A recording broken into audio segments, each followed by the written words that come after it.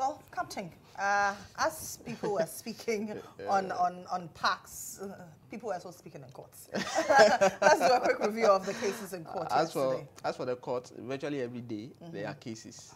There's no single day that there's no. If the court shut, then it means you are in trouble.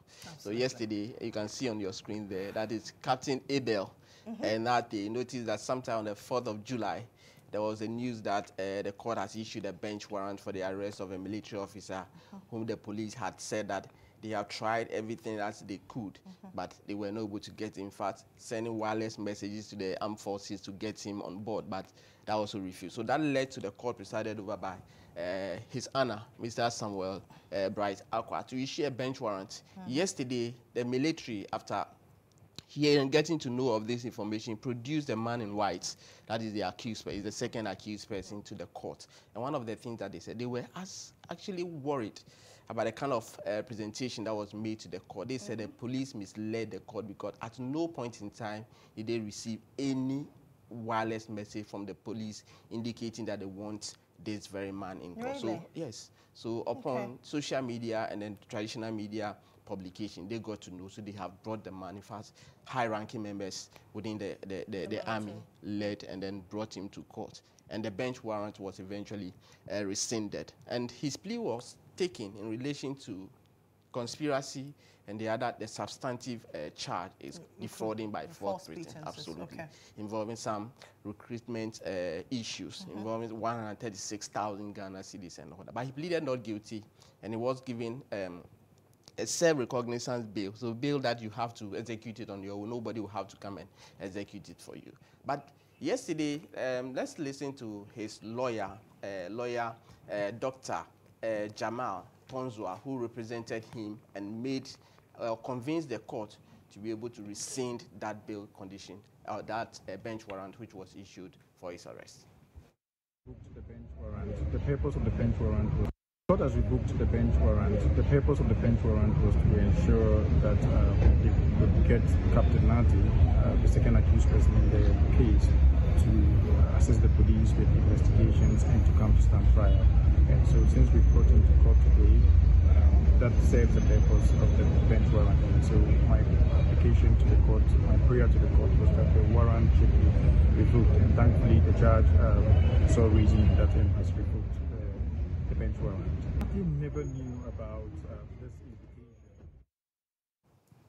Yeah, so that was uh, Yes, counsel for absolutely. the Jamel captain. Yeah. uh, Tonzua. So he prayed the court to revoke or rescind the bench warrant which was dealt with. So on the 18th of July, they'll come back to court to deal with whatever the court will have to deal with. So that is in relation to this very case. So this is what happened yesterday in court. So let's look at some of the cases coming up today. NAM1 is back in court. Yes.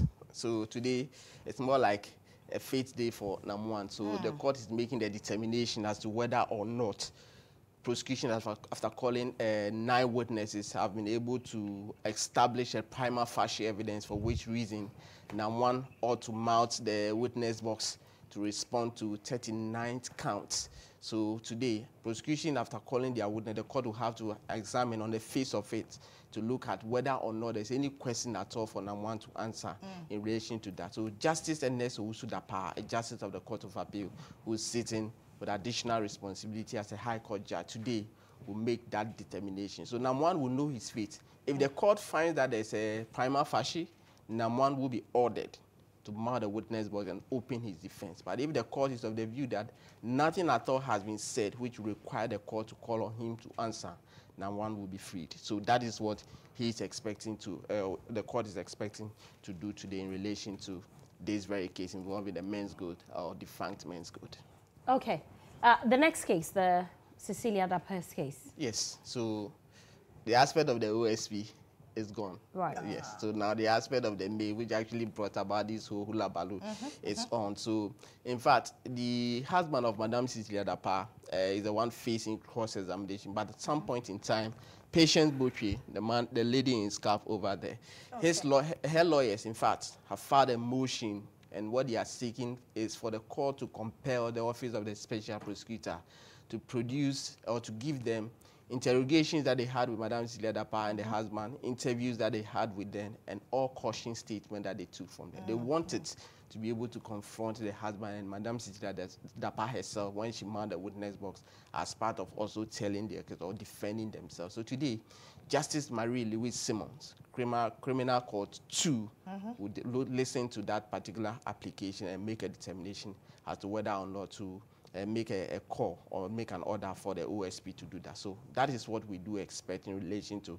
this very matter. So Patience Botchwey and her lawyers are saying that they want some document from the Office of the Special Prosecutor, and the court will be listening to that motion today. Hmm. Anas versus Nyantakyi. so this is a case that Justice Marie Simmons again, in fact, at the point in time, threatened to discharge uh, Mr. Nyantakyi. Uh, following the Anas number 12 expose, Nyantakyi was charged, and the court made an order for Anas to unmask to Nyantakyi in chambers. Mm -hmm. Then he will come to court, sit in open court, masked, and testify.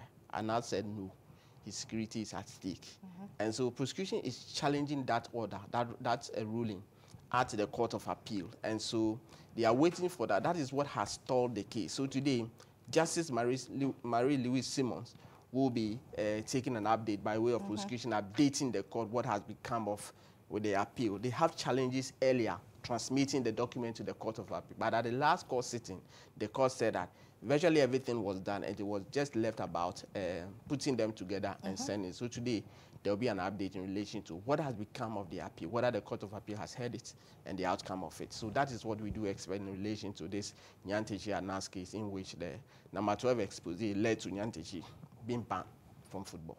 Okay, uh, let's move on to Oliver and Yes, so when you mention Oliver, there are two cases that you can avert your mind mm -hmm. to the one in relation to the treason felony, and then the one that Kan-Dapaah. the National Security mm-hmm. Minister, Albert Kan-Dapaah, and this is it. So that's Albert Kan-Dapaah and Dr. Justice Srem-Sai, that's the counsel for Oliver Barker. So today they are the Supreme Court. And the exercise at the Supreme Court is simple. The Supreme Court will be hearing an application. Initially, they filed a request. They are asking the court to ask, uh, as it were, ask Albert Kan-Dapaah to respond to some 17 questions of facts, mm -hmm. which, if done, will open the court's eyes to what the application for um, that defamation suit that he's filed is. Mm -hmm. Albert Kan-Dapaah says that because of security reasons and confidentiality mm -hmm. associated with his ministry, he's unable to respond to the 17 questions. And the lawyers are saying, no, if you say that, that is not fair. So you're going to the Supreme Court to compel you to answer those questions. So that is what is before the Supreme Court. And today, the apex court will be looking at that particular, as to whether or not Albert Kandapah is to answer to that 17 questions, which will open the court's eye to the substantive matter before it. So that's what we do expect mm. in relation to this very case. Finally, the, the case with the highest number of witnesses, uh, the Beige Bank case. Uh, yes. The 19th witness is expected today. Absolutely. Mm. So today we expect the witness to appear before Justice Afia Serwah Asare-Botwe, also Justice of the Court of Appeal, who's sitting with additional responsibility as a High Court judge. I told you about mm -hmm. the fact at the last court sitting, the court said, look, all intents and purposes, everything before the court now is amount to up to 29 witnesses. So 19 will come in today.